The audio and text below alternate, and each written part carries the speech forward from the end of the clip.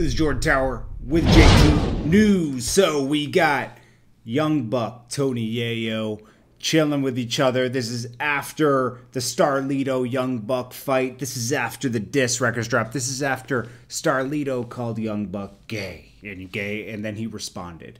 Well, uh, you know, Young Buck is known for like being kind of crazy, man. He doesn't take no shit. Remember when he jumped up on the uh, on the awards and stabbed the dude up, and Fifty Cent got the lawyer, and you know that he rapped about it and said, uh, "Buck stabbing dudes on camera, and it's okay.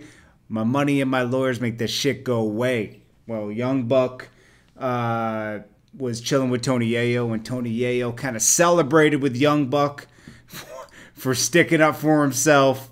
Uh, they they like how Young Buck is wild. I mean, we all do. That's that's who Young Buck is. Here's it, and this is courtesy of MREC TV, my buddy over there.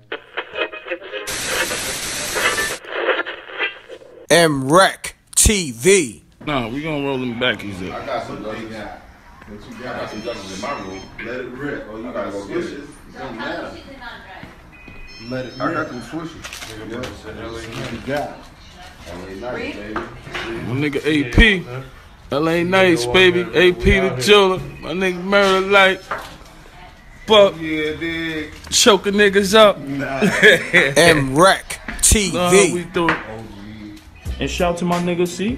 This is what I'm saying. This is motherfucking hustling. You know what I'm saying? And I'm gonna get MREX numbers because I might be on the next mixtape with her. Because we hustling. That shit is funny as hell. Tony Yayo is celebrating Young Buck for choking people out on camera. Um, Starlito, I think he's out of jail now. You know, he got into a shootout, so I hope he's out of jail.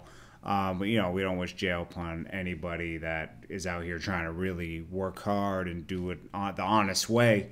You know, eh, or you know, just trying to do it, make it happen. You know, without making anybody else suffer. You know, that's cool. So Starlito, he's out of jail, I think, and you know, hopefully he beats that case and everything, man. But uh, yeah, Young Buck and Starlito, they're in the city. They're not getting along, man. So uh, we'll have to see how this all pans out. But you know, that's that's what that's how uh, Young Buck and Tony Yayo were feeling. So, uh, anyways, I'll check you guys in the next video. Appreciate you guys and uh, peace.